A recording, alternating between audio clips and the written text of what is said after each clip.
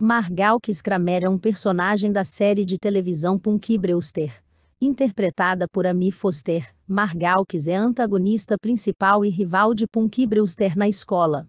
Ela é retratada como uma garota rica, mimada e muitas vezes arrogante, que contrasta com a personalidade mais descontraída e criativa de Punky Margalkis Kramer. Aparece em vários episódios ao longo das temporadas de Punky Brewster, frequentemente envolvendo-se em situações de competição com Punky, ou tentando impor sua superioridade social sobre ela e seus amigos.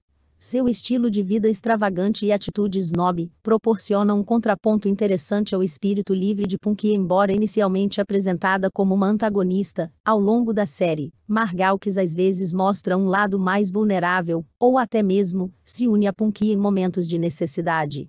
No entanto, seu papel principal na série é o de uma figura contrastante, que ajuda a destacar as qualidades únicas e positivas de Punky Brewster.